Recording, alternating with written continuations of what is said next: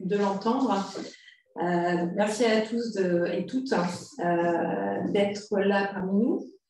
nous sommes donc dans, le focus le rôle des femmes dans l'action climat, qui va mettre en lumière le programme AgriFed mené par ONU Femmes et cofinancé par la BNP Paribas. merci à M. Cyr d'être là avec nous dans nos bureaux. Euh, merci Kadzi Camara d'être également euh, avec nous depuis Dakar euh, pour la modération du focus. Madame Si est également là. et donc, je vous propose, alors, pour les infos, les informations techniques, donc vous avez l'interprétation en cliquant sur le petit globe en bas à droite. donc, merci à Sarah et Dominique qui nous interprètent. Euh, pour les intervenants et intervenantes, merci d'avance de parler euh, suffisamment lentement pour que les interprètes puissent bien, euh, bien transcrire en anglais toutes les informations. le chat est ouvert, vous pourrez poser vos, questions et mettre vos remarques et nous les, ferons, nous les, les, transmettrons aux intervenants en, fin d'échange. Euh, je vous propose de commencer tout d'abord par un, premier tour de table euh, pour que les personnes se, se, présentent et nous, euh, expliquent leur, parcours et, et, comment elles ont cheminé vers, vers leur engagement pour le climat. alors, je vous propose de commencer Madame Si, ensuite Monsieur Cyr et ensuite Madame Camara pour enchaîner ensuite sur, euh, sur l'animation. Bon focus. Alors, bonjour à tous et à toutes. Euh, je suis désolée de vous informer que Mme Oulimata ne pourra pas nous rejoindre malheureusement. Elle a des imprévus. Je n'arrive pas non plus à joindre Mme Korka euh, donc, on va devoir faire sans, sans elle. Peut-être je pourrais peut-être parler un peu de, de, leur travail tout à l'heure parce que j'ai eu à collaborer avec elle. Euh, que ce soit Mme Korkadjo dans le cadre du programme REFAN de AgriFed, tout comme aussi quand j'étais consultante à ONU Femmes pour gérer également ce programme-là de REFAN et accompagner ces femmes-là. Donc voilà, je m'appelle Dick aussi, je suis ingénieure agronome et je suis la directrice de l'entreprise agricole Dictaf Corporation. Très ravie d'être avec vous.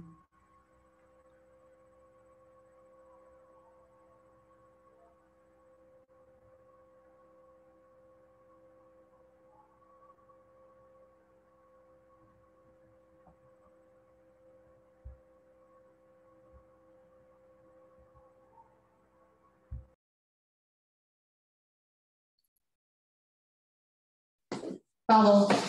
Ah, Est-ce que, vous pouvez nous, expliquer en quelques minutes euh, votre parcours et ce qui vous a amené euh, en tant que, euh, que, femme de terrain à avoir une action justement dans, pour, la, pour la, lutte, la lutte contre le réchauffement climatique?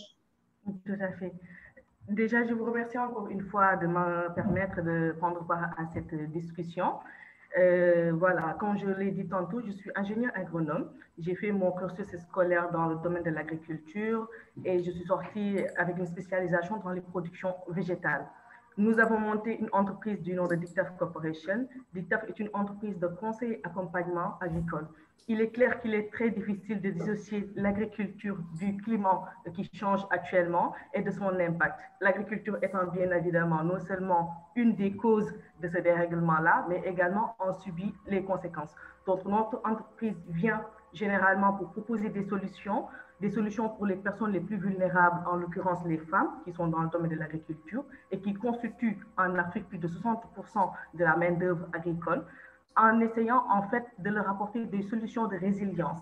Des solutions de résilience par rapport aux différents mots qu'elles font face. On parle d'agriculture, donc on parle également de travail manuel. Elles s'adonnent à des travails euh, manuels pour pouvoir, euh, euh, comment dirais-je, conduire les pratiques agricoles. Mais avec le dérèglement, on se rend compte qu'en fait, que leur charge de travail augmente de plus en plus. Donc, DICTAF vient avec des solutions à la fois technologiques, mais aussi avec des techniques et pratiques agronomiques qui leur permettent en fait d'alléger un peu cette charge de travail-là. Donc, je pense en introduction, c'est ce qu'on peut dire, en attendant d'aller au, plus, au fond du sujet tout à l'heure.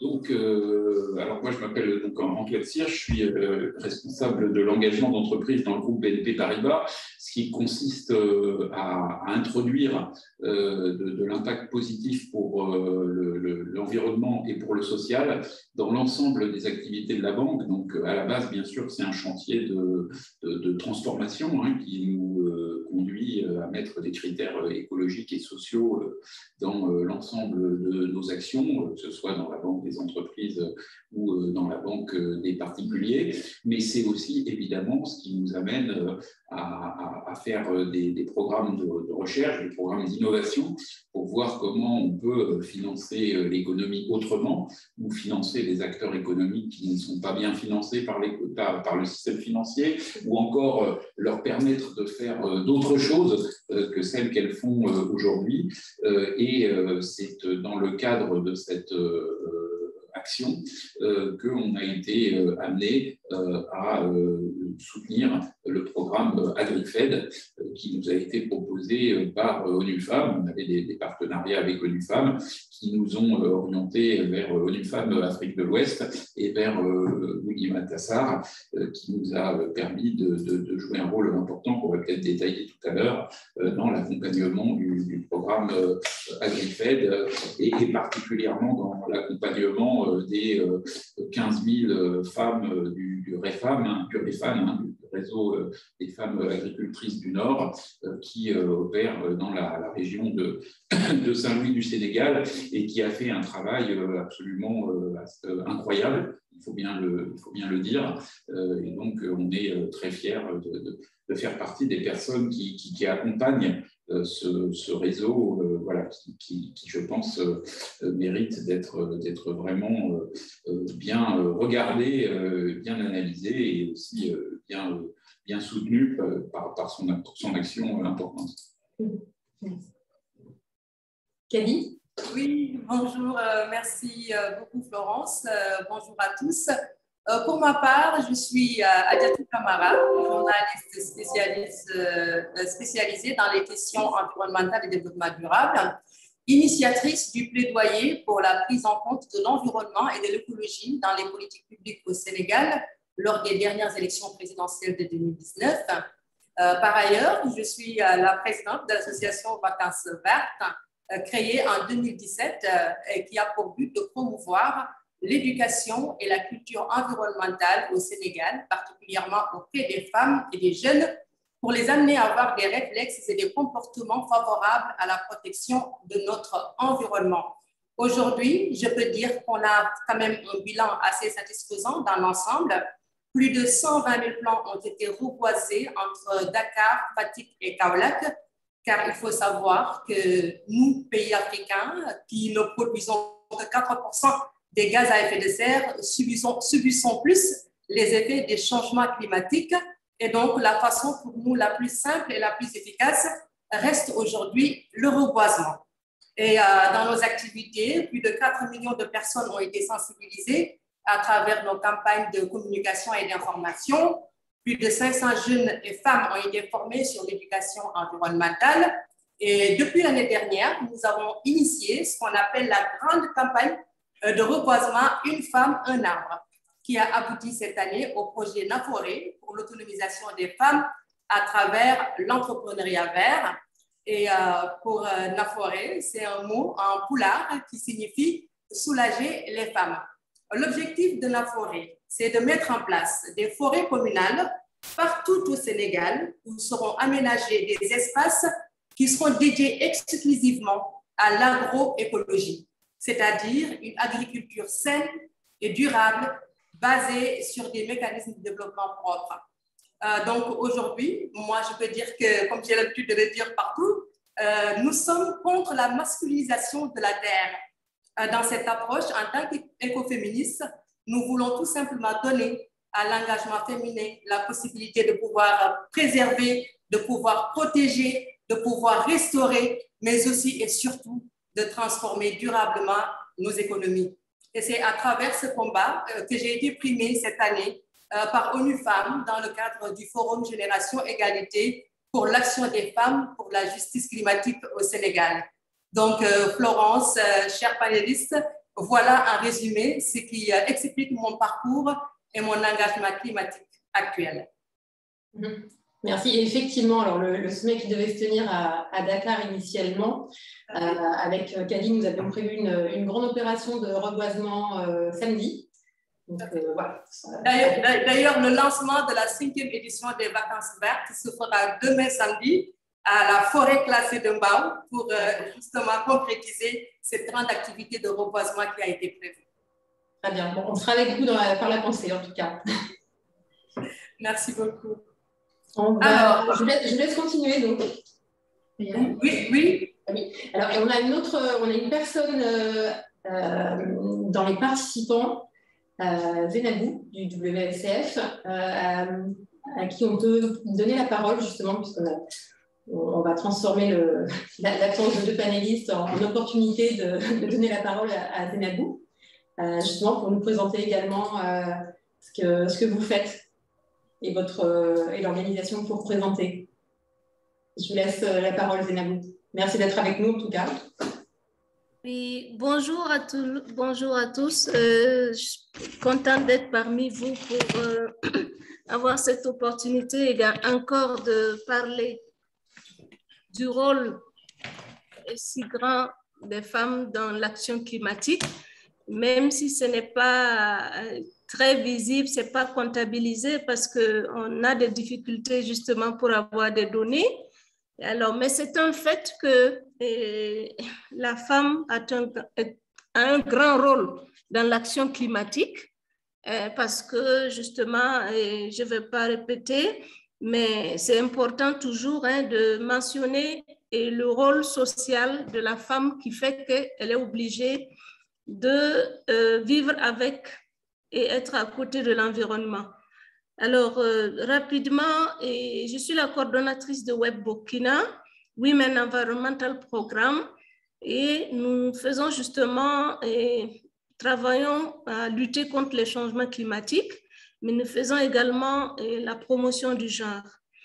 Alors, euh, nous travaillons étroitement avec euh, plusieurs acteurs nationaux et collectivités locales et pour euh, justement euh, prendre en compte euh, les questions de changement climatique et aussi la dimension genre dans tout ce qui se fait au niveau national et au niveau local. Et comme il est question aujourd'hui justement de parler de collectivités locales et tout, et le travail que nous avons toujours fait, c'est de sensibiliser les acteurs au niveau local, les associations de femmes, mais aussi les conseillers municipaux à intégrer la question eh, du genre et des changements climatiques dans les plans locaux de développement, euh, parce que c'est très, très important. Et j'ai parlé tantôt du rôle de la femme. Quand on prend eh, le secteur agricole, comme la collègue venait de dire, et des autres domaines, même dans ses activités reproductrices. Et la femme, elle a besoin euh, des ressources environnementales. Et donc, euh, il est important qu'elle puisse participer au niveau et local lors euh, de l'élaboration des plans communaux de développement que les, les collectivités territoriales locales puissent prendre en compte les besoins spécifiques donc, des femmes pour élaborer les documents. Un exemple euh, terre à terre, aujourd'hui, il y a des difficultés, par exemple, de se soigner. Les, les femmes retirent la plupart des éléments de, euh, des produits de soins euh, de la nature. Et maintenant, il faut aller de plus en plus loin pour les chercher. Et si une femme ne participe pas à, l'élaboration des plans communaux, elle ne pourra pas faire en sorte qu'on insère dans ces plans communaux-là de reboisement et de reboisement, utile, c'est-à-dire les espèces dont elle a besoin. C'est un exemple parmi d'autres. Et donc, c'est important qu'elle soit à ce niveau-là. La, femme, elle est dans toute la chaîne de valeur, par exemple, de l'agriculture, et c'est important, et tout cela, c'est un secteur clé climatique. Et c'est important qu'on on puisse donner des moyens à la femme parce qu'elle en a besoin pour travailler. Les moyens de production, les moyens de transformation, c'est très important. Et pour pouvoir d'ailleurs s'adapter, il faut des moyens. Euh, on a récité euh, beaucoup de chiffres par rapport à la question d'adaptation. Et c'est quand on prend en compte la pauvreté de la femme et les moyens dont elle dispose pour s'adapter, cela demande beaucoup de moyens. Je, m'excuse, ma, ma, connexion rame un peu.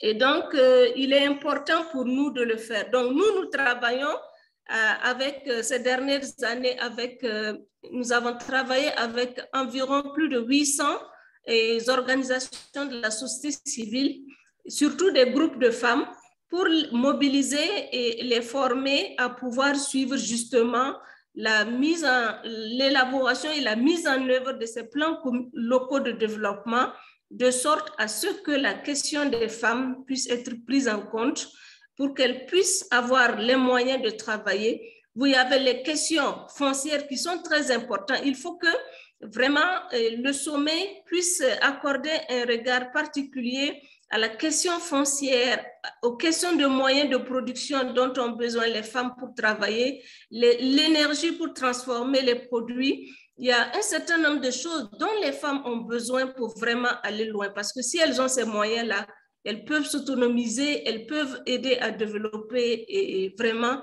les produits et, ne plus lutter contre l'insécurité alimentaire, et pourquoi pas vraiment passer au développement. Donc, voici à peu près ce que je peux dire euh, par rapport à nos interventions et le rôle important de la femme en matière d'adaptation.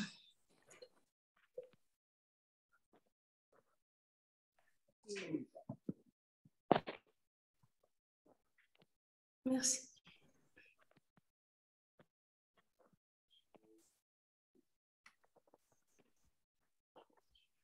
Ok. Non, c'était pas. Ah, pardon. pardon, il y avait pas de, on n'avait pas le son. On a eu une question dans, le chat pour Kadi, euh, à savoir comment sont sélectionnés les, participants euh, au projet Vacances Vertes. Et après, je vous laisse la, la, parole pour, euh, pour la suite. comment, s'il vous plaît? Vous pouvez répéter comment sont, oui, comment sont sélectionnés les participants au projet Vacances Vertes au projet Vacances Vertes. Le projet Vacances Vertes, au début, en 2017, c'était euh, carrément du volontariat. Parce qu'après des études à Paris, quand je suis rentrée au Sénégal, je, euh, euh, en tant que journaliste, j'ai été recrutée par la RTS, la chaîne nationale. Et comme je suis spécialisée sur les questions environnement et développement durable, à travers mes reportages sur le terrain, je me suis rendu compte de la nette dégradation de l'environnement dans notre pays, que ce soit dans les forêts, que ce soit au niveau du littoral avec l'érosion côtière. Et euh, un jour, je me suis dit, bon, ben, je vais lancer les vacances vertes, mais avec du volontariat. Donc, c'est comme ça que j'ai euh, incité des jeunes associations euh, étudiantes ou des associations de quartier à venir nous rejoindre, à faire du volontariat pour qu'on essaye euh, de faire de notre mieux pour participer à la préservation et la protection de notre environnement et de notre cadre de vie au Sénégal. Euh, les vacances vertes, au début, justement, c'était pour des quartiers propres, des plages propres et des marchés propres, euh, parce que les plages propres, c'était justement avec les étudiants qui faisaient du porte-à-porte au niveau des plages, c'est-à-dire avec les plagistes et ceux qui y travaillent, toutes ces personnes qui travaillent au niveau des plages, c'est de les sensibiliser euh, sur la propreté de nos plages parce qu'aujourd'hui, euh, nos océans sont, sont, sont, complètement infectés. Et si on ne sensibilise pas davantage sur ce fléau, surtout sur le fléau plastique, dont les dégâts sont énormes, ce ne serait pas bien pour les générations futures. Au-delà de ça, on a également lancé les marchés propres parce que, comme j'ai l'habitude de le dire, les marchés du Sénégal font partie des marchés les plus sales quand même au monde. Donc, il fallait faire quelque chose, sensibiliser également sur le plastique sur ces sites-là donc, euh, nous, on allait voir directement les commerçants et même les femmes qui venaient euh, au marché pour s'approvisionner, pour les sensibiliser sur les euh, dangers du plastique. Auparavant au Sénégal, c'était vraiment génial parce qu'on utilisait les calebasses pour aller au marché. Une calebasse, c'est vraiment une ressource environnementale, c'est vraiment naturel. Et ça, voilà, ça, provient d'un arbre. Et aujourd'hui, c'est tout à fait le contraire. On utilise plus le plastique à la place donc, de, de cette calebasse qui représentait justement euh, beaucoup de choses, euh, même dans la culture euh, sénégalaise. Et même, je dirais, au niveau des quartiers propres. Les quartiers propres, il fallait qu'on améliore le cadre de vie parce qu'il il fallait changer également certains réflexes et certains comportements. Donc, avec les étudiants en géographie avec qui j'ai travaillé comme volontaire et d'autres associations de quartier, comme les associations sportives et culturelles, on faisait également du porte-à-porte, on parlait à tout le monde, on essayait de sensibiliser au mieux pour qu'on essaye de changer les réflexes et les comportements en faveur de la protection de l'environnement. Euh, depuis 2019, c'est devenu l'association Vacances Vertes. Et là, nous avons à peu près plus de 100 membres euh, qui sont aujourd'hui dans l'association. bravo. Euh, je, vous laisse continuer donc du coup sur, sur l'animation voilà, donc euh, c'est vrai qu'aujourd'hui, euh, on est là pour, euh, parler du projet AgriFed, mais aussi du rôle des femmes dans l'action climat avec comme cas d'école ce, ce, grand projet financé par la BNP Paribas. L'objectif de cette session est d'abord d'illustrer avec le programme AgriFed en quoi et à quel niveau les femmes ont un rôle déterminant dans l'action climat. Ensuite, de valoriser l'impact de ce genre de programme et enfin, d'identifier les potentielles perspectives de réplication de ce programme. À présent, euh, comme euh, nous n'avons pas notre directrice régionale, euh, Madame Ouli Matassar, qui devrait être notre première intervenante, nous allons nous rabattre, comme nous l'a proposé tout à l'heure Madame Ducossi, pour nous faire un peu la préservation, la présentation plutôt euh, du projet AgriFed. Madame Si, bonjour, vous avez la parole. Bonjour encore une fois, Madame Khadijatou, et bonjour à tous les participants qui nous écoutent présentement. Comme je le disais tout à l'heure, c'est très pertinent en fait de revoir la position de la femme par rapport à cette lutte contre le changement climatique. Comme je l'ai tantôt souligné, euh, cette catégorie de la population compte plus de 60% de la main-d'œuvre agricole et produisent plus de 80% maintenant dans les zones euh, en, pays de développement, dans les pays euh, en voie de développement, en fait, de la ressource en alimentation. Donc, je pense que ce sont des chiffres qui ne sont pas du tout négligeables. Et il serait vraiment opportun d'impliquer cette partie de la population-là que constitue la jambe féminine dans cette lutte pour pouvoir avoir des résultats, en tout cas, positifs. Je parlais tout à l'heure de l'agriculture et de son rapport par rapport au changement climatique et du rôle, en tout cas, des femmes dans ce domaine-là. Les impacts sont nombreux, mais les femmes restent quand même le maillot le plus touché. Dans les zones rurales, ce sont les femmes, comme on le sait tous, qui pratiquent le plus l'agriculture familiale pour remplir les greniers de la maison, pour pouvoir faire des bénéfices et scolariser les enfants. Mais dans le contexte du changement climatique, les dangers qu'on peut noter ou bien les euh, dommages qu'on peut noter, la dégradation des sols en fait partie, euh, la dégradation de la fertilité, les inondations, les sécheresses, et parlons des sécheresses par exemple, ce qui alourdit notamment les tâches ménagères, c'est-à-dire l'eau pour la cuisine, devient un véritable C'est nous qui. C'est nous qui, un problème pour approvisionner. Et quand je parle de plusieurs kilomètres, d'après les données, il est noté que euh, dans 25 euh, pays des voies, des, euh, des, en situation de développement, excusez-moi, les femmes consacrent près de 16 millions d'heures pour chercher juste de l'eau. Et si on prend le cas d'ici au Sénégal, on est à 17 heures d'heures de cherche d'eau par semaine. 17 heures. C'est-à-dire, les femmes consacrent 17 heures pour chercher de l'eau. Et évidemment, les conséquences sont là. Les femmes ne deviennent moins efficaces dans le travail.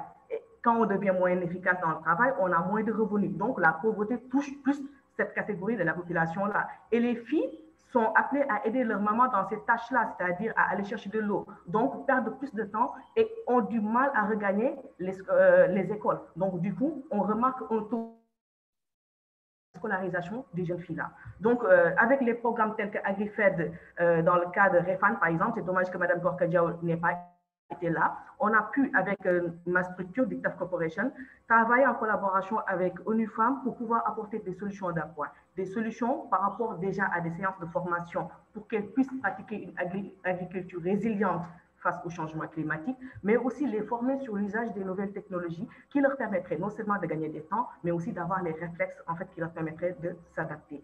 Donc, au-delà de cet aspect technique-là, il y a l'aspect comment choisir les, choisir les intrants qui soient à ce contexte-là, les semences agricoles qui soient adaptées. Quand on parle de changement climatique, il est clair qu'on parle également de dérèglement des cycles de pluie également, n'est-ce pas? Donc, du coup, comment pouvoir jouer avec les systèmes de culture pour pouvoir, en tout cas, toujours tirer profit par rapport à ces, euh, à ces, à ces, à ces, recherches-là.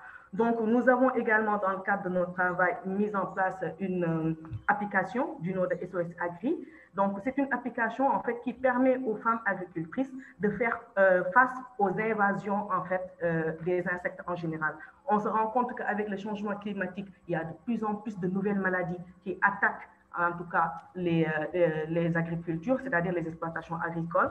Et avec l'application, en fait, les femmes sont à même maintenant de pouvoir faire un diagnostic prématuré, en tout cas, de ces maladies-là et de pouvoir apporter des solutions pour lutter en général pour la perte euh, de ces, euh, de ces, de ces, de ces récoltes-là. En parallèle aussi, nous avons lancé pour les femmes toujours euh, un programme qui s'appelle Green City. Comme le nom l'indique, en fait, c'est un programme qui permet le développement des villes vertes c'est-à-dire dans les zones, pour le moment, on l'a lancé à Dakar, mais l'idée, c'est de pouvoir développer ce même programme-là dans les plus grandes villes de, du Sénégal déjà, mais ensuite de l'Afrique de l'Ouest. Donc, ce programme, c'est un programme d'agriculture urbaine utiliser les zones industrielles, les espaces publics, n'est-ce pas, pour en faire, en tout cas, que ce soit les terrasses, les balcons et autres, des zones euh, d'agriculture pour pouvoir, en tout cas, non seulement permettre d'avoir des productions à proximité, ne plus être obligé de faire des kilomètres pour se provisionner en denrées alimentaires, c'est-à-dire en culture, légumes et fruits, mais également lutter contre la pollution de, de, la, de, la, zone. Donc, ce sont des initiatives comme ça que nous essayons de mettre en place pour permettre non seulement d'alléger euh, la charge de travail pour les femmes, mais également d'apporter des solutions durables pour ce, pour ce problème-là. Donc, avec REFAN, nous avons pu former 15 000 femmes sur des thématiques comme euh, le réchauffement climatique, les, bons comportements, en tout cas, pour pouvoir faire face à ces, à ces problèmes-là, comment travailler le sol, comment gérer la culture, quelles sont vraiment, quelles sont les doses à appliquer par rapport aux produits, n'est-ce pas, pour entretenir également euh, la nature, comment faire en tout cas pour avoir une une pensée d'une agriculture climato-intelligente, comme on le dit souvent. Et je pense qu'avec Korka Diaw, qui, qui, est la présidente de cette association, nous avons fait pratiquement 12 régions du Sénégal ensemble pour former pendant plus d'un an pratiquement toutes les femmes sur ces questions euh, euh, d'ordre national, international, je dirais même, pour pouvoir qu'elles soient en tout cas résilientes face à ces problématiques. D'ailleurs, nous allons continuer avec vous parce que vous avez souligné un point très important euh, merci d'abord pour cette brillante intervention. Aujourd'hui, on sait que les modèles euh, climatiques désavantagent l'Afrique subsaharienne, surtout en ce qui concerne la frange féminine.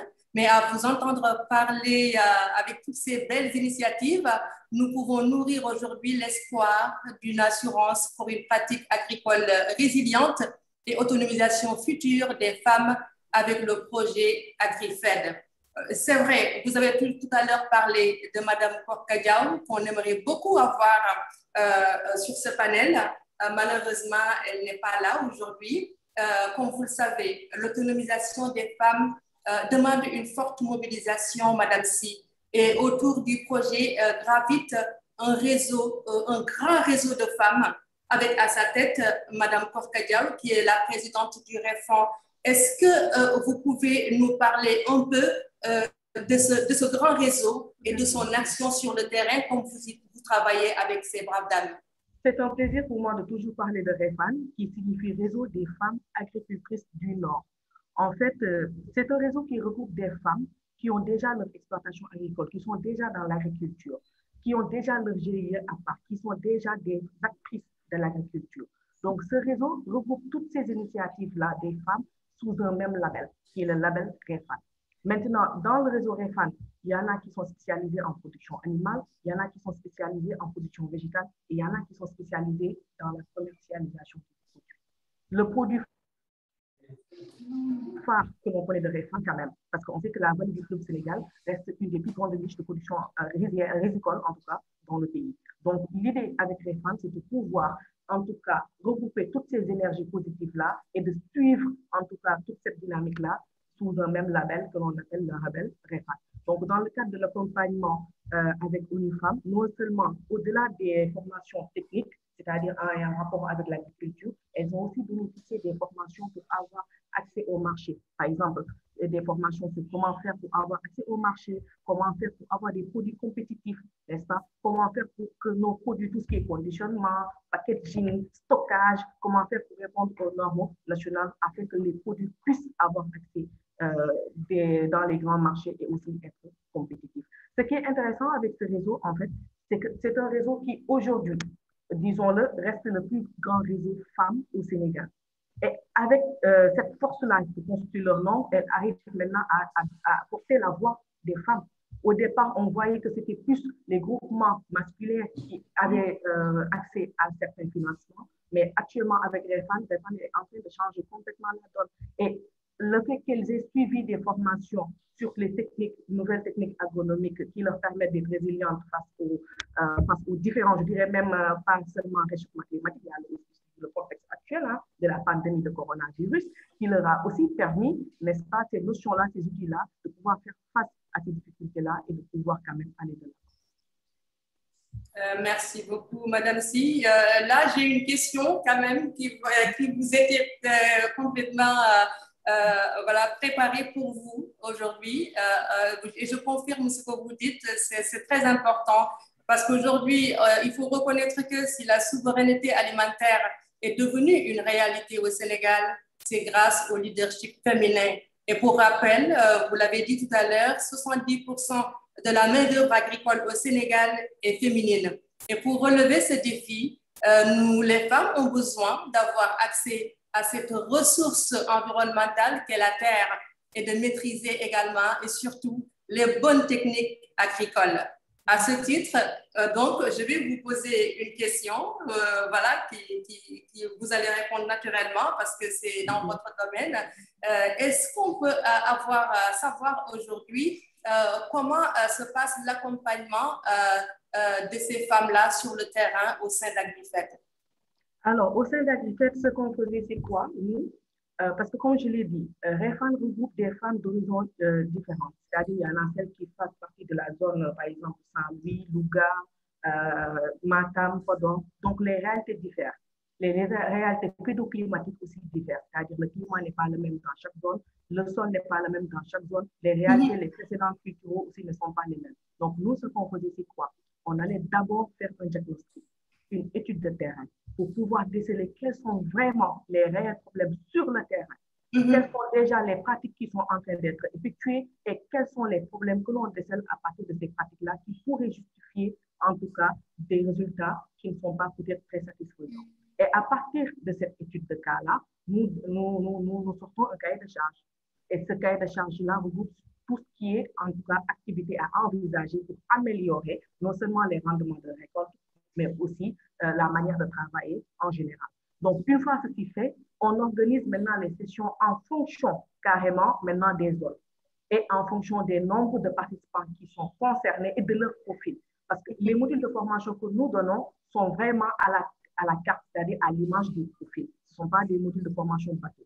Aujourd'hui, tu ne peux pas, par exemple, donner une formation à quelqu'un qui est instruit de la même façon à quelqu'un qui n'a jamais fait les bancs. Donc, la pédagogie diffère, l'approche diffère, mais le résultat est finalement le même, c'est-à-dire qu'elle puisse être à même euh, de consommer cette information-là et de la pratiquer. Donc, nous avons plus misé sur l'aspect technique, l'aspect mm-hmm. pratique, aller sur le terrain, faire avec elle, euh, évoluer avec elle et aussi miser aussi sur côté technologie avec euh, la mise à disposition de vidéos tutoriels qui leur permettent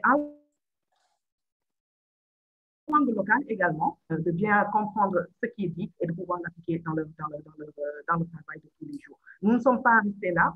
Euh, comme je l'ai dit tantôt, Refan, oui, est une association majoritairement de femmes, 15 000 membres, euh, bientôt 20 000 hein, d'ailleurs, parce que de plus en plus, on, note de nouveaux membres qui intègrent le réseau. Mais on avait noté également, dans le cadre de ce, de ce programme, que les filles Et les belles filles de ces femmes, la plupart étaient déscolarisées mm-hmm. De façon prématurée. Elles sont restées au chômage, soit s'occupent de la maison, soit ne font rien. Alors, on a eu l'idée, en fait, de créer ce qu'on appelle le collège Réfan. Le collège Réfan, en fait, regroupe les filles et les jeunes, les filles, en fait, qui, qui, habitent le village, en fait, les villages où euh, a des activités. Et ce qu'on a fait avec ces filles, c'est quoi? C'est vraiment faire des leviers, en fait, c'est-à-dire euh, le relais de ces dames-là. On les a formées sur tout ce qui est outils informatiques, comment créer un site web pour pouvoir vulgariser le travail de leur propre mère, pour pouvoir vulgariser, en tout cas, les activités qui sont en train d'être faites. On les a aussi formées sur comment animer, en tout cas, des événements, que ce soit euh, des salons, des, euh, des, des foires, pour pouvoir vraiment mettre en avant le travail que fait en, en amont, en les femmes. Et aujourd'hui, euh, ce sont ces jeunes filles-là qu'on essaie aussi d'outiller parce que grâce toujours au programme AgriFet, on a pu faire aussi des formations sur l'usage des drones agricoles, euh, toujours le même euh, réseau REFAN. Et c'est grâce à ces formations-là données aux jeunes filles qui aujourd'hui assurent cette fonction-là, qui aujourd'hui secondent leur, maman dans le travail et ont une passion débordante de l'agriculture et essayent elles-mêmes de moderniser l'agriculture euh, que pratiquer leur mère et donner une image beaucoup plus redorée, une image beaucoup plus attrayante de l'agriculture pratiquée actuellement dans ces zones-là. En tout cas, d'après ce qu'on peut retenir sur, ce, sur cette brillante intervention, c'est que la formation est un passage obligatoire euh, pour sécuriser une dynamique pareille. Euh, parmi les acteurs clés, euh, chers panélistes de ce programme, les financiers ne sont pas un reste. Leader de la finance durable, la BNP Paribas, la Banque nationale de Paris, concourt aussi à l'atteinte des objectifs du développement durable. manifestement, elle est au cœur des actions agricoles et au contact de l'économie réelle. À présent, je vais me tourner vers M. Antoine Cyr, responsable de l'engagement d'entreprise et membre du comité exécutif du groupe BNP Paribas et euh, partenaire financier du programme AgriFed. Euh, pour savoir d'abord, ma première question, euh, Monsieur Cyr, qu'est-ce qui explique l'intérêt d'un grand groupe bancaire d'accompagner des initiatives féminines en Afrique comme AgriFed Merci et, pour moi c'est toujours euh, passionnant de, participer euh, à des échanges euh, autour de, ce projet REFAN parce que c'est un projet très, très important. Mais effectivement, vous avez raison de, poser la question parce que ça nous ramène au fond euh, à, l'essence de notre euh, métier de banquier. C'est-à-dire que le, normalement, une banque, euh, c'est utile socialement et ça a une raison d'être si d'une certaine manière, ça aide à mettre l'argent des uns au service des projets des autres.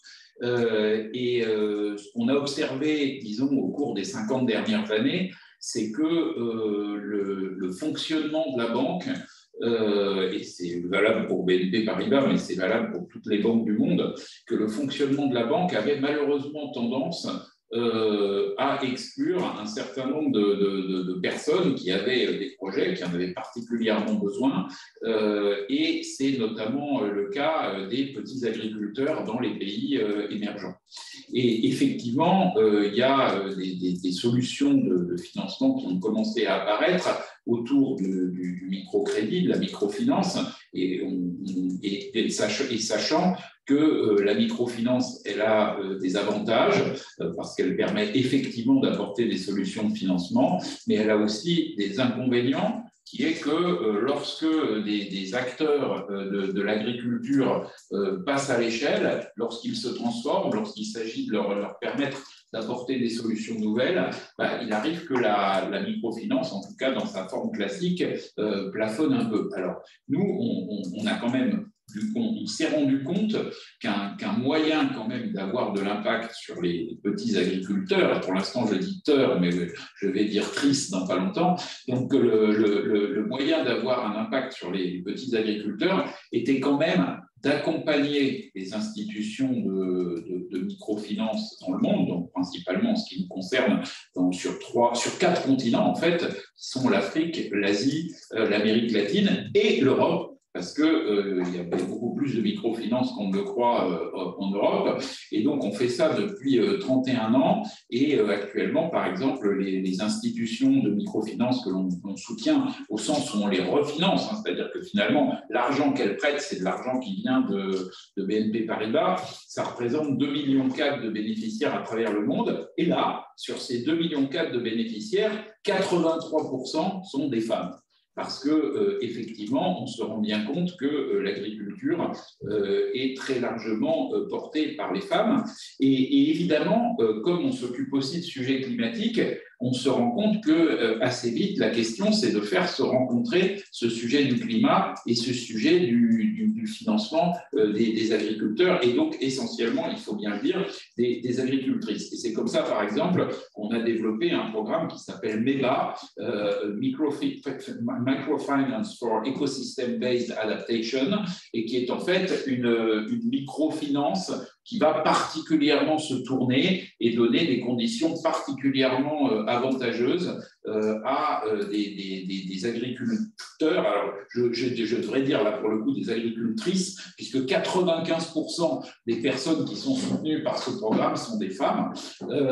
Et, donc, on, a fait le lien entre microfinance et action climatique. Mais évidemment, il reste ce sujet lorsqu'on a des gens qui sont en train d'avoir un rôle vraiment transformant pour l'agriculture et pour le climat, euh, il faut être capable à ce moment-là de les sortir de la microfinance et d'être capable de les financer comme on finance des PME. Parce qu'à travers le monde, on finance des tas de PME et on le fait dans des conditions qui sont beaucoup plus avantageuses que les conditions de la, de la microfinance. Et, et là, il y a un vrai travail que doit faire la banque pour aller vers ceux qui sont en train d'apporter cette transformation, parce que sinon, ils ne se rencontreront jamais, mais il faut aussi pas seulement aller vers eux ou aller vers elles, mais il faut aussi les aider quelque part à faire le chemin qui les sépare euh, du, monde euh, de la, de, la, petite agricultrice isolée euh, à celui de finalement la PME qui a accès à un financement beaucoup plus avantageux. Et c'est là qu'on voit bien la difficulté du financement de la banque, parce que si c'est toujours les mêmes qui ont accès au financement avantageux, et ben forcément, c'est toujours les mêmes qui restent dans des conditions moins avantageuses. Et donc, toute l'idée, c'est d'essayer de comprendre à travers certains programmes comment on peut euh, euh, réduire cet écart. Et là, d'un seul coup, on s'est rendu compte, grâce à ONU Femmes, grâce à Ouli Matlassar, qui, qui, nous a amené ce, ce programme AgriFed, que c'était justement une formidable expérimentation pour nous aider à comprendre comment euh, euh, réduire euh, cet écart. Tout simplement parce que d'abord, il faut bien dire que, que, que, que Corcadia et les, les, 15 000 femmes de, de ont fait déjà par elles-mêmes un travail qui est très important, hein, qui, a, été celui de se structurer. Moi, j'ai visité leurs unités de conditionnement de riz, c'est très impressionnant le, travail qu'elles font. Et puis le, le, travail qu'elles ont fait il ne faut pas oublier quand même qu'elles euh, ont euh, réussi euh, notamment à faire pousser du riz là où beaucoup de gens, et en particulier les hommes, avaient renoncé à faire pousser du riz. Donc elles ont, elles ont réussi un travail formidable qui sauve des villages euh, euh, qui, qui, qui, est un, travail de, de, de, disons, euh, vraiment assez extraordinaire. Donc elles ont fait ce travail, mais elles n'étaient pas encore complètement prêtes à, à, justement à ce que cet écart soit comblé. Et donc le, programme, nous, l'accompagnement qu'on a fait du, du, programme AgriFed est en fait destiné par tous les moyens qu'on peut avoir. Donc, c'est bien sûr des moyens financiers au sens du mécénat, mais ça devient après aussi des moyens bancaires euh, au sens du crédit, et puis ça devient aussi de la, de la compétence financière qu'on essaye d'apporter. Donc, on, a essayé euh, de euh, leur donner tous, les, tous les moyens d'atteindre l'objectif. On, on, va y revenir tout à l'heure, justement. C'est, ce sera ma deuxième question. Alors, je vous laisse poser la question. Avant d'y répondre. Avant d'y répondre. voilà, donc 31 ans euh, au service euh, des femmes, 31 ans pour l'autonomisation des femmes à travers l'entrepreneuriat vert euh, par euh, l'agriculture, euh, une agriculture résiliente, c'est quand même à saluer. Et donc, c'est la banque BNP Paribas. Justement, donc, vous parliez des moyens. On voudrait savoir quels sont les moyens qui sont mis à la disposition de ces femmes pour les soutenir dans l'action climatique. Alors, d'abord, les moyens, c'est une somme. C'est-à-dire qu'on a mis au départ, euh, sur le programme, on a mis euh, euh, l'équivalent en, CFA de, 1,8 million de dollars. Hein. donc, c'est un programme quand même assez important. mais vous allez voir que, en fait, petit à petit, l'argent qui a été mis a, a, dérivé, enfin, c'est accompagné d'un accompagnement bancaire euh, plus, euh, plus euh, spécifique. Donc, à quoi sert cette, cet argent? D'abord, il a servi à, donner à ces femmes un accompagnement juridique et des compétences juridiques parce qu'elles elles travaillent sur des terres qui, euh, par le passé, ont été parfois euh, euh, accordées aux hommes, hein. et maintenant ce sont elles qui ont les droits sur les terres, donc c'est important de les aider à, défendre et, à, et, je dirais à, pérenniser les droits sur les terres. Et il faut bien reconnaître que la dimension juridique joue un rôle, mais la dimension bancaire aussi, parce qu'à partir du moment où c'est elles qui ont la, la relation avec la banque, euh, elles ont euh, évidemment un, un, pouvoir qui est plus important. Ensuite, il y a la dimension technologique. Donc, effectivement, on, a travaillé avec, on a, rendu possible que, que, que AgriFed travaille avec un certain nombre de, partenaires technologiques technologique, en On a parlé du sujet des, drones. Hein. Euh, et c'est évident que euh, une une, personne qui a euh, un champ euh, à parcourir par 45 euh, degrés et qui mettra moins d'intrants chimiques ou de produits qui peuvent poser problème si elle a vraiment la, bonne connaissance de l'état de sa culture, bah, si elle dispose de drones, c'est quand même plus encourageant que s'il lui faut marcher par 45 degrés en permanence pour, pour, pour parcourir son champ. Alors ensuite, on, travaille euh, sur le sujet euh, des, des, achats. Donc effectivement, aujourd'hui, il y a des moyens technologiques. Euh, nous-mêmes, en tant que banque, on a des partenaires qui sont des partenaires acheteurs potentiels. Donc il faut qu'on aide le, le, REFAN. Ce qu'on fait aujourd'hui, à la fois à travers une, plateforme technologique et à travers des, mises en, relation pour améliorer leur accès au marché. Donc ça, c'est un, un grand projet sur lequel on est et puis alors, il y a la quatrième dimension. Ben, la quatrième dimension, c'est que finalement, on va les chercher et les accompagner pour qu'elles puissent être clientes, je dirais, à travers leur entreprise, à travers leur coopérative de euh, euh, BNP euh, Paribas. Et là, c'est en fait, ça, demande quand même un, travail assez important, hein, parce qu'elles sont quand même très loin, pour le coup, d'avoir la structure financière et administrative des, entreprises qu'on accompagne. Et donc, le, premier projet qu'on a mené, ça a été capable d'être capable de faire des crédits de campagne euh, qui soient des crédits faits euh, dans des conditions bancaires euh, beaucoup plus normales. Donc, on a, pour la, campagne hivernale 2020, on a pu prêter 350 millions de, CFA. On a quand même travaillé en coopération avec une institution de microfinance qui est Baobab, que je voudrais saluer quand même, parce que, si vous voulez, il faut reconnaître aux institutions de microfinance une, capacité de, descendre assez profondément dans la connaissance euh, de, chacune des agricultrices et, et, ça, et dans l'accompagnement des agricultrices, et, et, quand même, il, il, ça demandait un peu de, d'accompagnement. Et donc, on a une ligne de financement euh, qui couvre à la fois la, la, phase de production et la commercialisation du, du, riz euh, usiné. Et euh, disons que là, cette première expérience s'est dans l'ensemble bien passée et on en tire bien sûr des enseignements pour pouvoir mener d'autres expériences et faire que petit à petit, le REFAN devienne vraiment un, client de BNP Paribas. vous savez, moi, j'en ai discuté avec le, patron de, BNP Paribas au, Sénégal, qui me disait bah, finalement, quand je discute avec Corcadiao, c'est incontestable que potentiellement, dans tous les clients qu'on peut avoir, c'est une des personnes en qui j'ai le plus confiance. Donc la question, c'est de savoir comment passer euh, de, de, la confiance qu'on a et de la certitude que son modèle euh, est, un, est un bon modèle à la capacité euh, de, prêter à une, une, entreprise qui évidemment part du terrain et donc qui au départ ne s'est pas structurée avec tous les, aspects financiers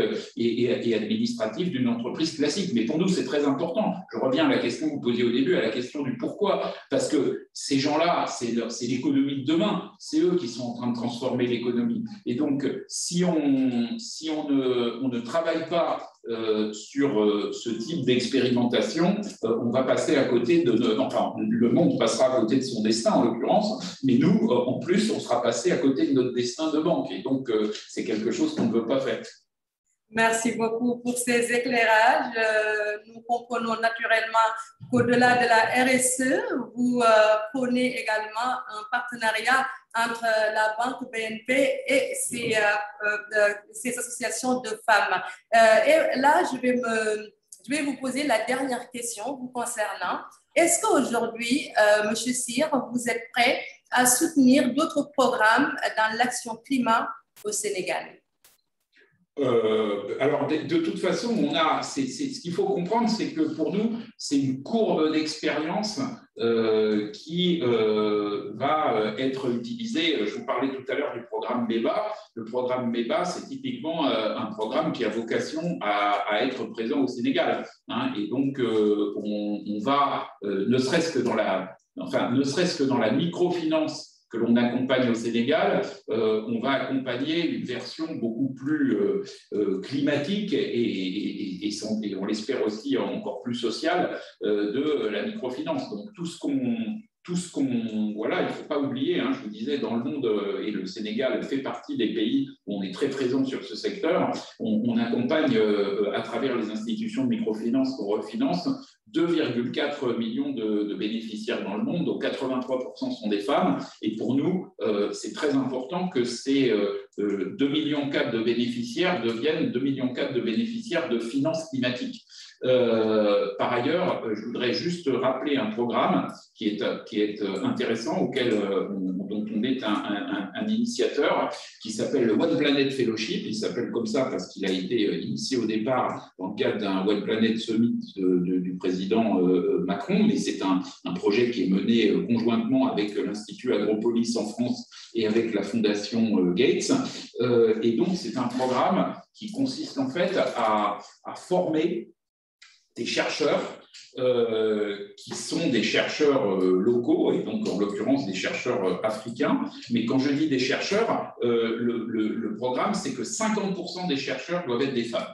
Donc, le, le, programme, il est complètement gender equal, et ce sont des chercheurs et des chercheuses qui euh, travaille sur l'aide à l'adaptation euh, au climat dans les, villages africains. Et ce qui est intéressant, c'est que ce programme, initialement, avant que BNP Paribas n'arrive, n'existait qu'en Afrique anglophone. Et le, fait qu'on arrive sur le programme, ben, on a dit, écoutez, oui, mais on va accompagner ce programme s'il est étendu à l'Afrique francophone et bien entendu assez largement au Sénégal.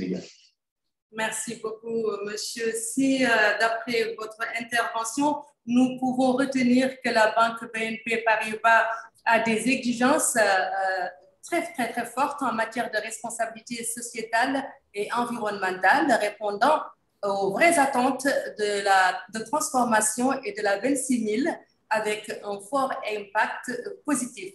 Maintenant, euh, si vous me le permettez, euh, ma chère euh, Florence, je pense qu'on doit passer à la deuxième phase de notre session pour un échange interactif avec nos chers panélistes.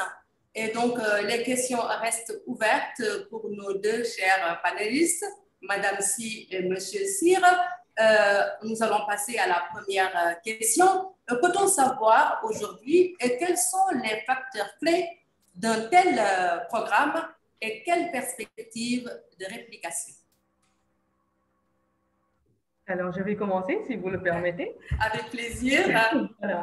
Euh, si on reste toujours sur le cas euh, du REFAN, déjà, REFAN, avec le programme d'accompagnement AgriFed, a facilité l'accès aux ressources de façon générale.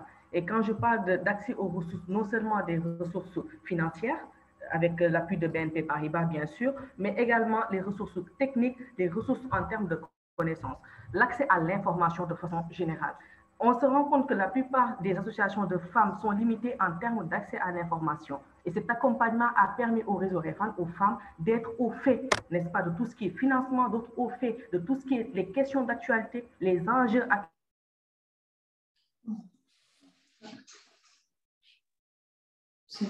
en rapport avec l'agriculture. Par exemple, la situation, je ne sais pas, du nom REFAS, Réseau des femmes agricultrices du Sud, pourquoi pas, parce que pour moi, c'est une initiative à dupliquer. On a essayé avec REFAN, ça a réussi, les résultats sont là. Euh, c'est la zone nord qui en bénéficie. Pourquoi pas dupliquer, pourquoi pas répliquer ce modèle dans les autres zones pour appuyer les femmes, faciliter leur accès aux ressources? Aujourd'hui, on ne peut pas parler de développement sans pour autant faciliter l'accès aux ressources comme je viens de le dire. C'est le capital, en fait. Le capital, que ce soit le capital humain, le capital en termes de renforcement, de capacité, le capital en termes d'ouverture et d'opportunité.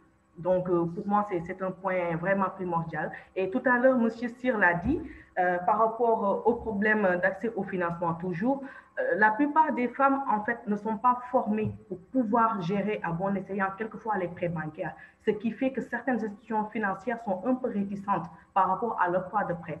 Nous, dans le cadre de Dictav Corporation, notre entreprise, on a mis en place des modules en fait, de formation sur tout ce qui est éducation financière, mais toujours, comme je l'ai dit tantôt, adapté au niveau de nos profils pour qu'elles puissent savoir comment gérer un prêt, comment gérer un budget, comment gérer un cahier de charges, comment gérer les activités pour que l'argent ne soit pas, en tout cas, euh, un investissement en vain. Donc, je pense que ce sont des ressources de, de cette nature-là dont ont vraiment besoin ces femmes-là pour pouvoir aller de l'avant.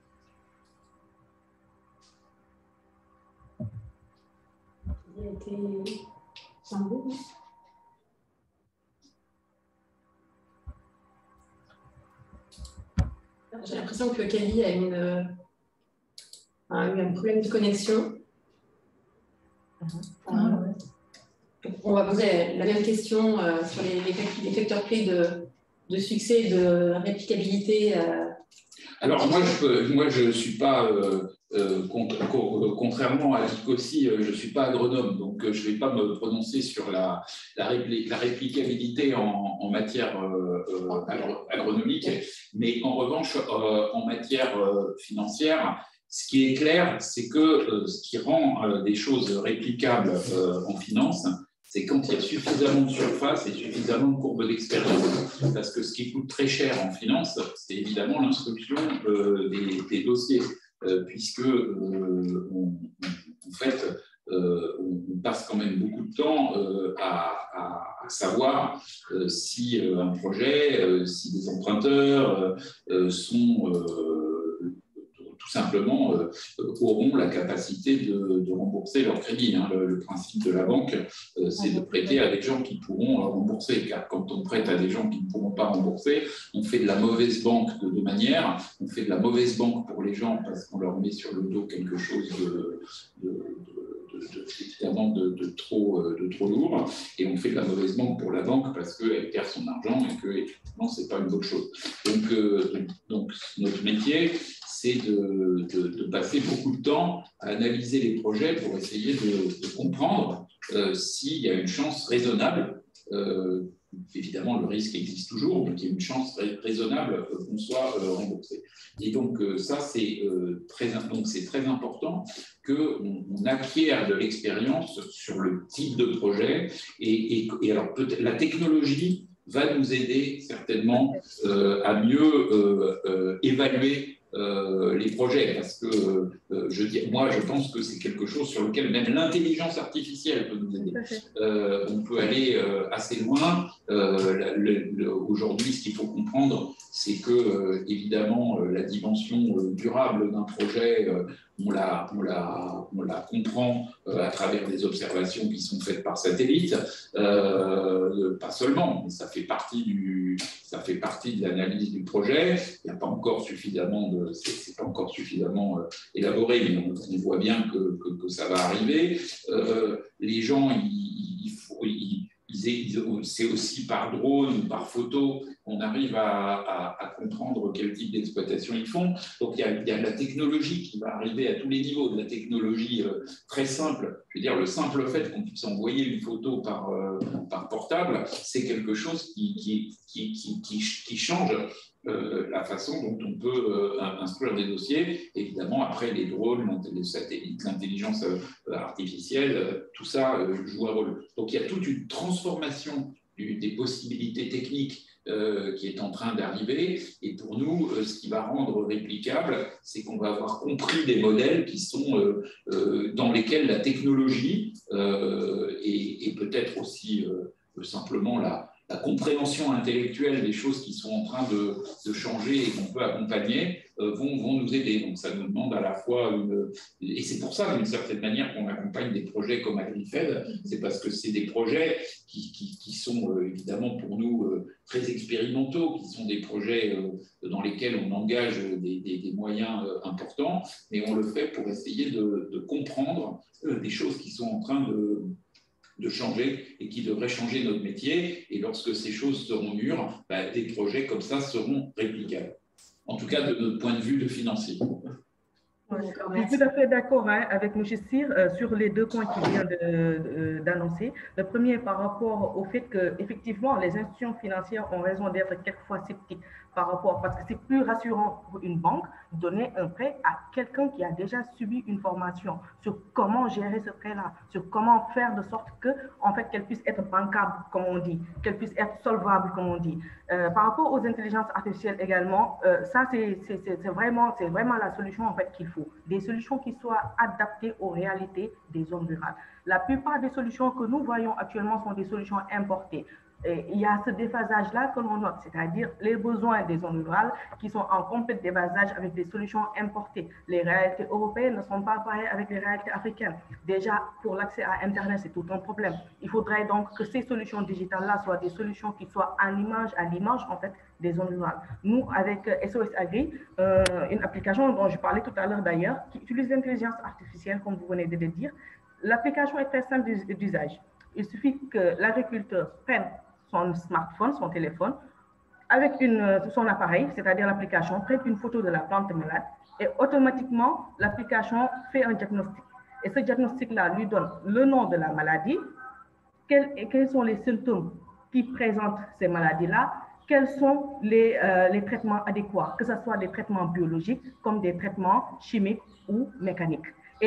Ce qui est intéressant, c'est que nous avons intégré le système vocal avec cette application-là pour que la personne qui ne sait pas lire puisse écouter. Et on l'a décliné en langue locale, que ce soit le Wolof, le Poulard, en tout cas les langues les plus parlées euh, dans la zone ouest africaine. Donc ça permet vraiment euh, à l'agriculteur d'être autonome et de pouvoir réagir. En Afrique, on sait qu'il y a plusieurs millions de tonnes de récoltes, en fait, qui sont perdues juste à cause euh, des maladies des plantes parce que l'intervention n'a pas été faite à temps, parce qu'on attendait un ingénieur qui est très loin, parce qu'on attendait un conseil agricole qui n'a pas pu accéder aux zones euh, demandées euh, par manque de temps ou par manque de locomotion ou par un autre facteur que ce soit. Donc, ce sont des outils comme ça qui permettent de réagir à chaud et qui permettent à l'agriculteur, évidemment, de pouvoir protéger ses, récoltes. Merci beaucoup pour vos, réponses à tous les deux, effectivement très éclairantes. Euh, alors, je poursuis. Madame euh, Kavi Camara a, un souci de coupure d'électricité dans son, dans son immeuble euh, juste ponctuellement, donc elle va nous rejoindre dès que possible. donc, je, je, vous fais part des, questions qui ont été envoyées dans, dans le chat. donc, une question à mesdames Si et Segba. c'est quelles sont les difficultés majeures rencontrées dans les mises en œuvre de, de vos activités? Alors, euh, comme on l'a tantôt dit, hein, quelquefois, le niveau d'instruction euh, peut poser problème parce que donner une formation à des, personnes non instruites demande une certaine pédagogie. Donc, cela nous a pris plus de temps que d'habitude parce que nous avons été obligés de prendre un temps pour vraiment concevoir des modules qui soient adaptés à leur niveau d'instruction. Des, modules qui ne demandent pas forcément euh, de savoir lire ou de savoir écrire, donc, ça a été un des blocages majeurs, mais qu'on a pu quand même euh, relever comme défi. L'autre point, c'est quelquefois la disponibilité en termes de temps, Parce qu'au-delà, n'est-ce pas, du fait qu'elles doivent gérer les travaux champêtres, elles doivent également gérer les maisons.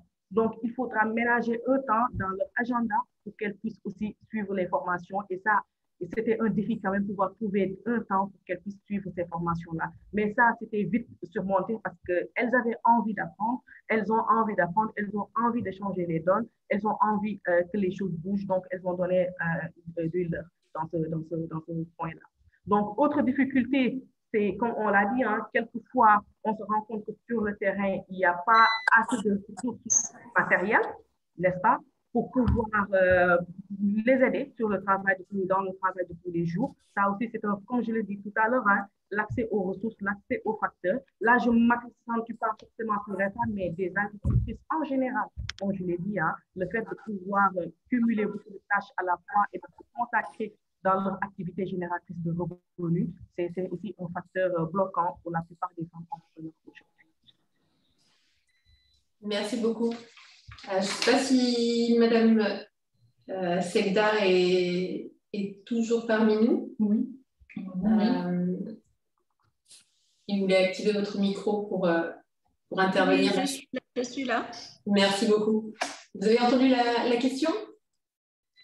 Vous pouvez me reprendre, s'il vous plaît? Oui, tout à fait. C'est de savoir quelles sont les difficultés majeures rencontrées dans la mise en œuvre de vos activités.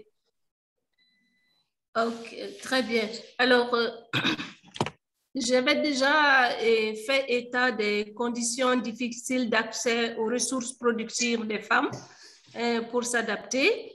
Et les autres questions sont plus, je vais dire, structurelles, liées à leur capacité également d'apprentissage. Vous savez, les femmes font partie des la grande majorité de ceux qui ont manqué aux formations, aux simple alphabétisation, l'éducation en général, alors que pour euh, cette question, excusez-moi, transition vers, euh, par exemple, l'agroécologie, etc., il faut quand même pouvoir lire et écrire. Et mhm. sinon, les femmes, elles ont des savoirs locaux qui sont importants à apporter dans les solutions climatiques. Mais pour pouvoir mettre tout ça dans, euh, comment dirais-je, mouler tout cela et pouvoir faciliter leur accès aux moyens, et il faut qu'elles puissent avoir des capacités pour pouvoir euh, emprunter souvent de l'argent, même si nous, nous reconnaissons et nous faisons justement le plaidoyer pour qu'elles ne puissent pas euh, s'endetter pour faire face au changement climatique. Et donc, il faut qu'on ait plus de solutions euh, plus vertes, des solutions en tout cas répondant à leurs besoins spécifiques et de participation aux efforts de réduction des émissions de gaz à effet de serre et donc des solutions financières qui vraiment répondent à ce besoin spécifique-là et qui est différent de, des standards euh, de, de, prêts, etc., que les banques doivent faire. Donc, euh, il y a tout un, un arsenal à, envisager, à faire, et ce n'est pas évident. Nous essayons d'apporter et formation et capacités techniques et également des activités, des ressources d'appoint en semences, en, en, intrants, mais vraiment, il reste que c'est difficile parce que le besoin est énorme. Donc, euh, sinon, les femmes, elles ont du savoir-faire.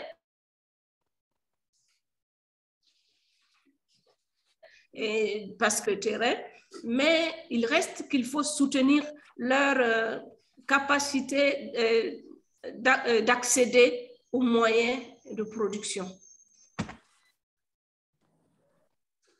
Merci beaucoup.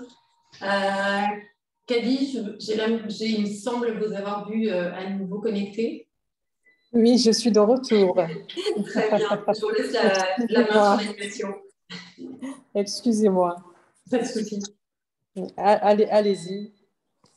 Euh, alors, j'avais une, autre question par rapport à l'approvisionnement en, en, eau potable. Euh, quelles, euh, quelles, autres approches euh, de solutions avez-vous déjà identifié en fait pour, pour pallier ce, souci, cette difficulté? C'est ce qu'il y en a.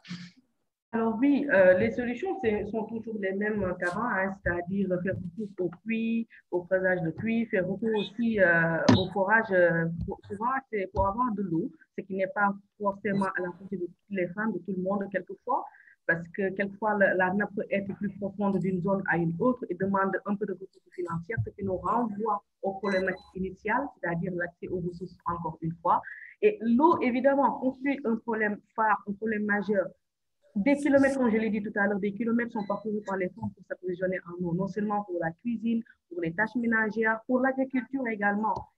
Comme je l'ai dit tout à l'heure, les chiffres parlent d'eux-mêmes. Plus de 16 millions de, voilà, d'heures consacrées à ça pour les pays en développement. Donc, je pense que c'est énorme et c'est un point vraiment, vraiment crucial sur, lequel il faudrait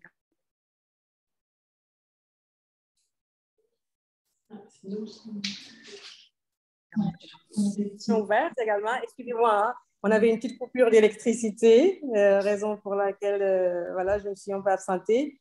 Euh, donc, moi, je voudrais savoir à quelle échelle le projet AgriFed a été impacté par la COVID-19.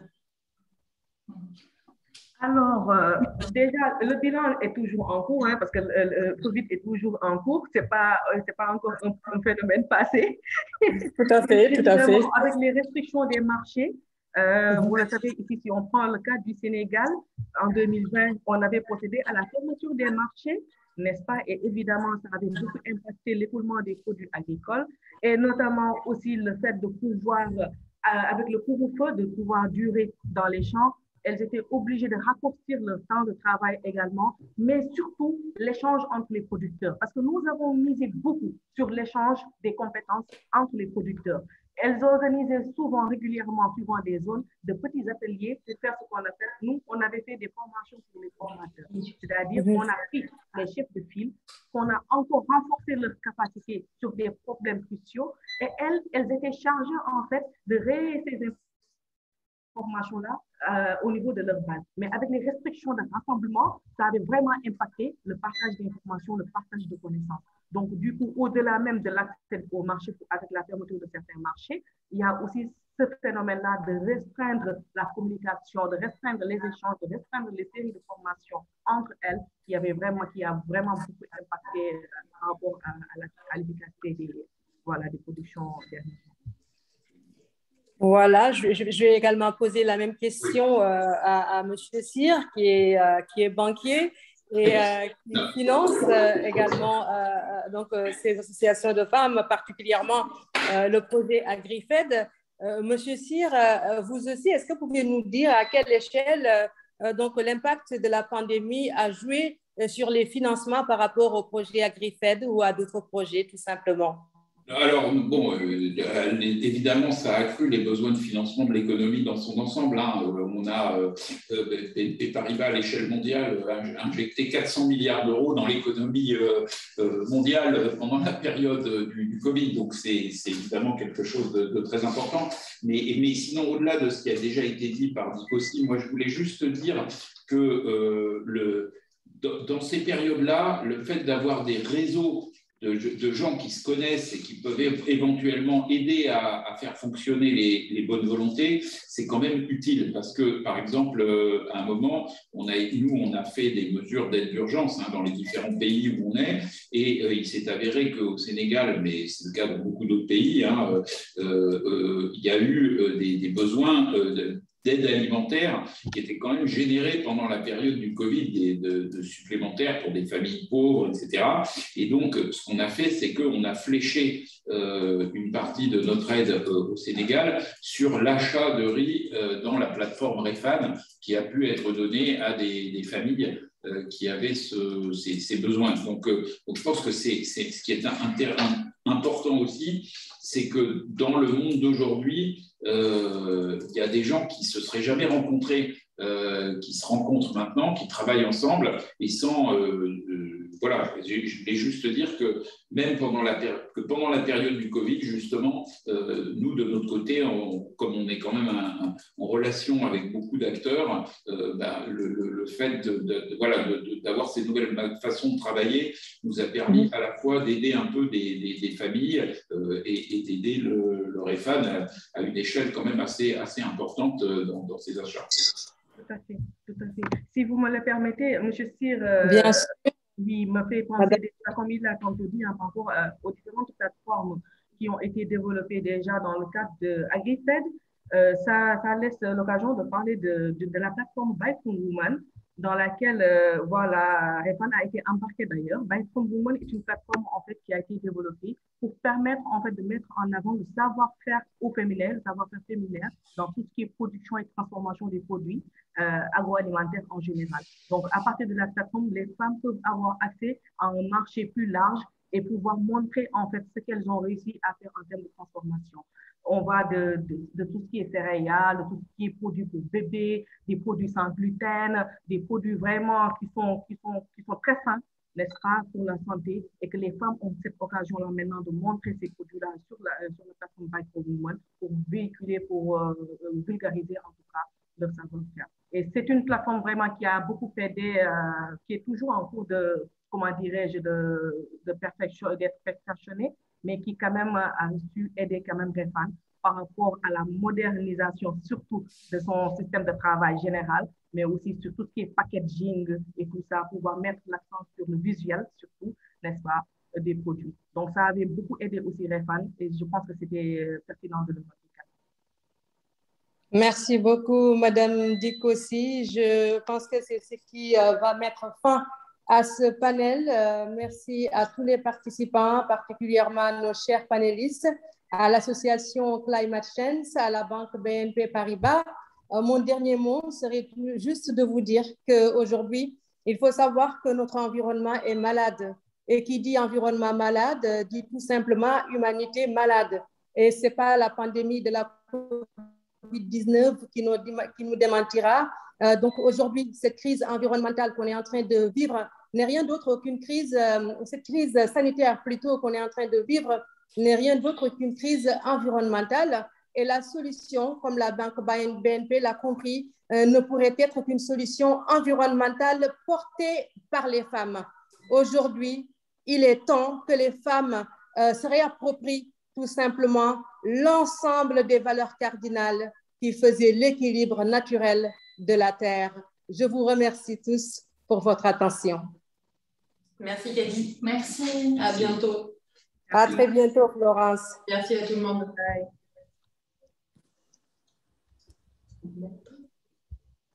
Je te laisse euh, terminer.